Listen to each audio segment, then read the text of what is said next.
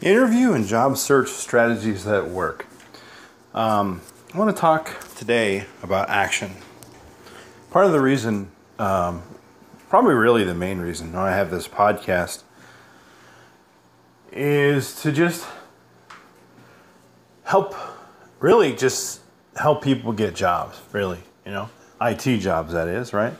Um, and it doesn't always look like an IT job when you first see it. Um, and I'll, I'll, tell you an example, right? I was in uh, Sam's Club the other day. I was getting my uh, spinach for my shakes, my uh, smoothies, not shakes, but smoothies. So I do a, a spinach. Um, what do I make? Okay, so I have this Ninja, right? It's an 84. Is me looking at right now, actually. 84 ounces, is it? Let me see here. 80, 72 ounce. Sorry. 72 ounce Ninja. And inside that goes almonds. I put some almonds in there. I put some spinach. I put uh, two bananas. And um, I put two avocados and then uh, two dates. What else do I put in there? I think that's it. Water, of course.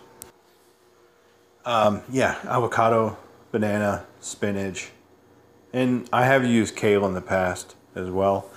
Um, and so I was there in Sam's Club getting my spinach for my, my shakes, the smoothies. And uh, I just, you know, you know, sometimes when you talk to folks, you just, I looked at his name tag and I was like, oh, kind of pronounce it a little bit. Okay, kind of interesting name. I was like, huh, okay.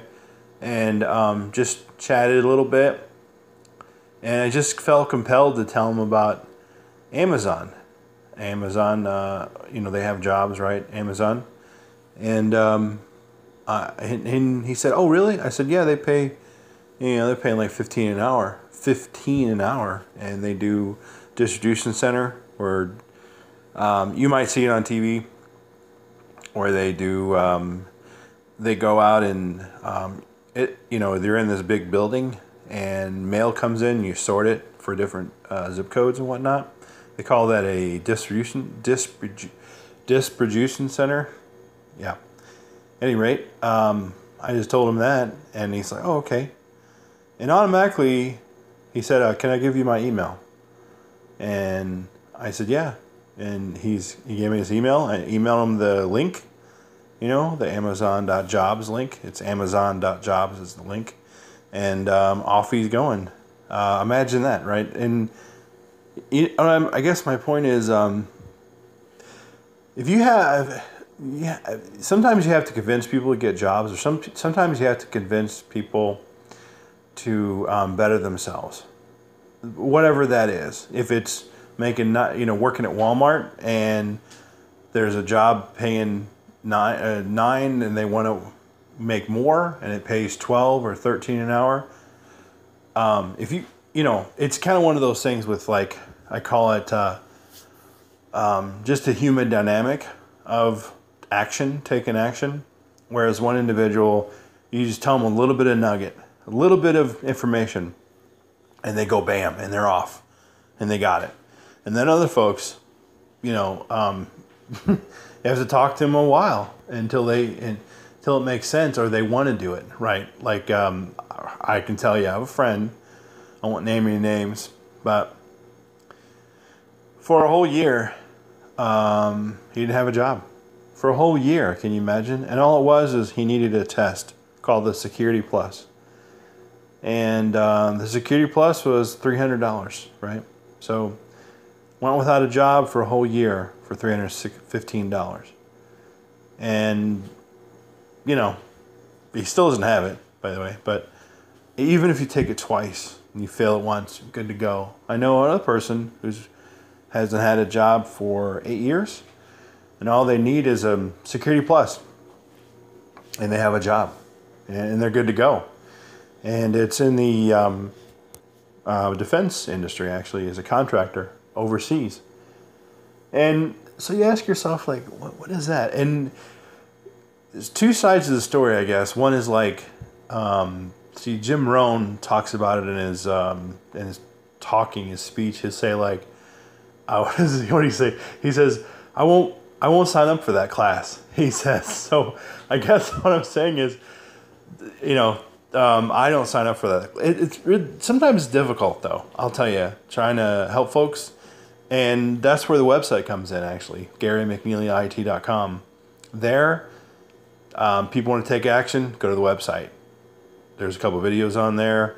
Um, there's my core to my podcast. Everything I talk about my podcast is is helpful for folks to get a better job, uh, whatever it is. The the one underlying thing I think that it's fear, right? And who doesn't have fear? Everybody has to deal with this stuff every day.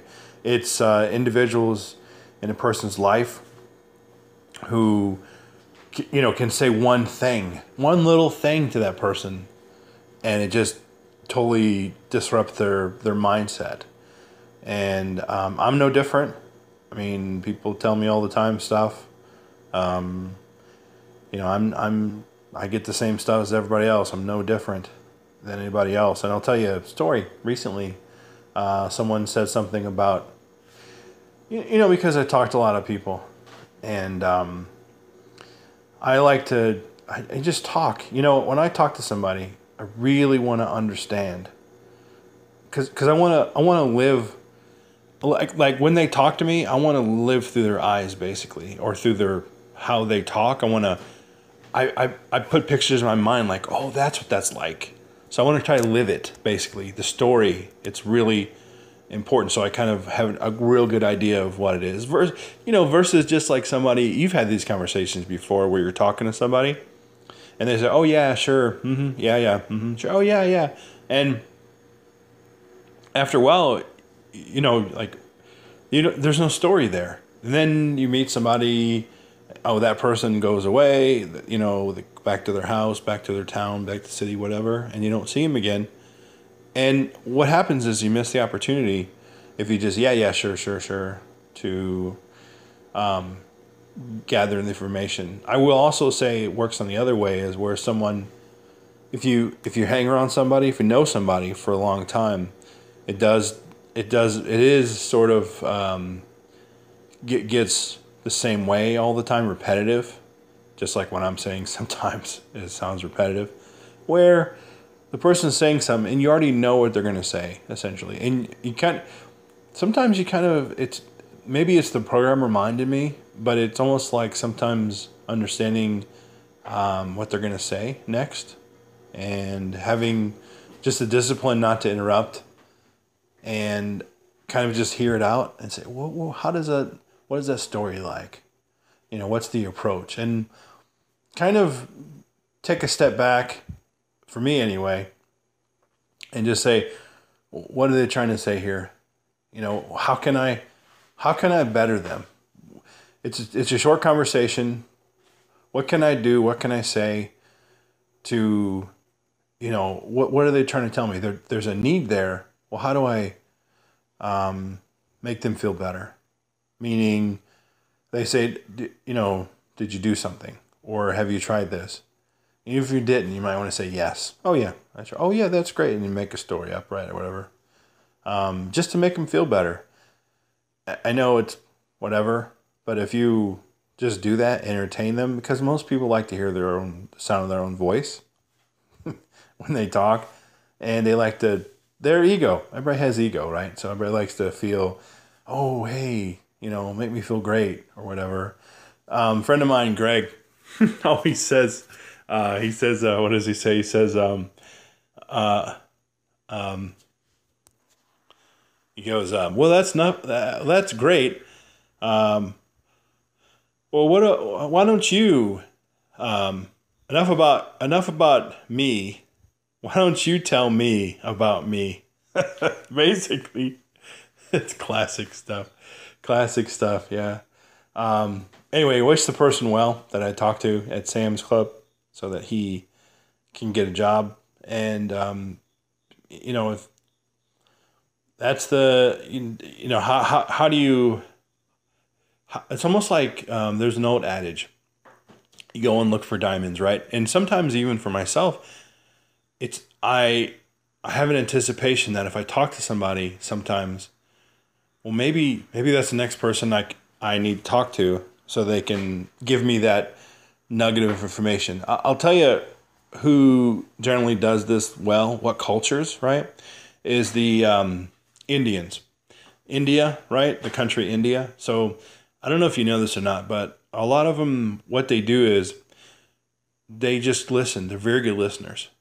So listen to what you have to say, and or even just in a coffee shop. I've kind of picked this up, this kind of this skill a little bit, where I hear you know hear somebody talk in a coffee shop or whatever, and I just like listen and okay, how can I apply that to my life? What can I do to apply that that little nugget of information? What can I do? You know, it's um it's I guess it's almost like this. Learn with the intent to teach or learn with the intent to um you know, do something that, with that knowledge. How can I use that knowledge to my benefit? Um, and I'll, I'll tell you a story actually, real quick on this. Um, I was in San Francisco. No, I was in Palo Alto a number of years ago. And I was in a coffee shop, and I was I was there to take a Microsoft cert actually, one of the MCP or was it a CCNA, one of the two. And at any rate, I um, was in a coffee shop because the center was closed for that day, and um, the website wasn't updated, whatnot, and you know whatnot, scheduling uh, conflict. But anyway, I went to a coffee shop nearby and I overheard some people talking about um, the um, CC, what is it, uh, wireless. So it was a certified wireless network administrator. They were talking about it. And I had, you know, obviously I worked in wireless before, microwave, SATCOM. And I was like, oh, that's interesting. What is that? And I thought to myself, you know, just like listening, right? And I wrote it down. Sure enough, I got the cert. Look at that. And uh, that little nugget of information um, that I, I gathered from that. It doesn't always work that way, but uh, in my case, it did. So, yay for me, right? I will say that as far as action is concerned, um, there's you know many different like facets of action, right? For instance, it might be something as simple and um, it, it's just you know, instead of doing this large thing, this big giant thing, it can be one small thing that leads up to these big things. For example, um, YouTube, you know, starting your own YouTube channel. So the first step is just to get uh, an account, Gmail account, get a YouTube account. That's the first step. And, you know, once after that, okay, I got that. I got that step. I'm on my way. You know, I, this is step one. Good. And step two is um, channel art or just making a video. You know, go to Canva, make some channel art, or make a video for that matter. That's step two. And then that's it. That's it. Those two steps right there. Done. And then you have a, then now you have a YouTube channel, right? I'll, I'll tell you, as far as YouTube is concerned, because I have a YouTube channel, um, put some content on there. You, you won't you won't see a lot of um, growth initially, and I haven't either, and that's that's normal.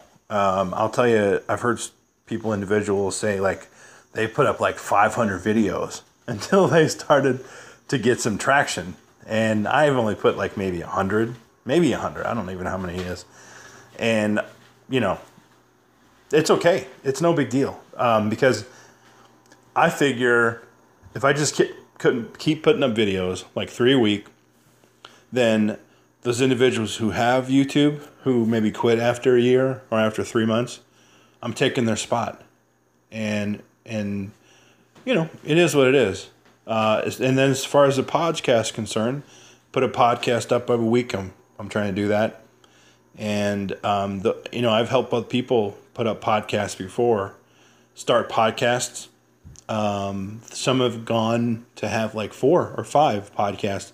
Two individuals that I know about had um, just had one video or one uh, in one no almost two years now time had one uh, one audio one podcast or one episode basically and then they quit right and you know it is what it is that's called action right so um, that that's really the key right there if you if you want to know like some sort of like magical pill to take to be successful, I mean, I can only say, well, I'd probably say two things really um, momentum and action. Probably that. I'd say those two things. Just doing something, whatever it is. If it's a Udemy course that you want to create, there's lots of Udemy courses out there, but they're not you. They're not like you. They don't do the same thing you do. Um, they don't have your charisma. They don't have your personality. They don't have what you have. Um, they don't come across as um, friendly or whatever. You know, for instance, you might want to create a, a Udemy course, Udemy, U D E M Y dot com, and you speak another language. That is a market that I don't even, because I only speak one right now, uh, and that's English. As my or my friend says, English, right? Um, but I only speak one right now, and uh, if you speak more than that, you're heads and tails over me as far as that mark is concerned, and go, that goes as far as podcasts podcasts are concerned as well. That that stands for that too, because you know another language that I don't, and you can you can go to another audience, and you can you know talk about what you talk about on that podcast or on that YouTube channel or on that Udemy course. And I'll, I'll tell you another thing, right, about Udemy. Uh, now that we're just talking, like we're having a, a chat here on this podcast, and it's this when when you have a, a, Udemy course and when you have um, content, right, and you you're like a what do you call it? You're a I wouldn't I don't know about influencer. What I would call the word is um you have something tangible for the marketplace. You're it's a lot different than if you oh, you know, you can work for somebody and you know, work for your local city or whatnot, and maybe you have friends or relatives who buy your product or whatever. But the rest of the world is um, getting your content via podcast or YouTube or Udemy. And what that does for you, uh, from a, I guess, a psychological standpoint, having experienced it, it, it just get, you know, when you have those down days and you're like, man, am I doing something right here? Am I am I good? Everybody has those. You know, nobody can stay. Um, it, it is just common thing. But in those days that are like, whoa, you know, I don't know if I'm on the right track. You're like, oh, you know what? Um, there is, you know, let's say thirteen thousand or or two thousand individuals who have your course, or one thousand people have your course, or even ten people who have your course, or ten people who watch your video that's 10 humans that like that's 10 humans that watched your video. That's amazing, right? Wow. Wow. And if somebody buys your product, wow. They bought your product. Wow. Awesome. And um, I can tell you, you know, it's a, it's an everyday thing to gain their trust, uh, regain their trust, if you will. Um, and uh, yeah, so very well. I appreciate everybody. I'm grateful for you listening to this podcast. Um, and, uh, you know, have a great day.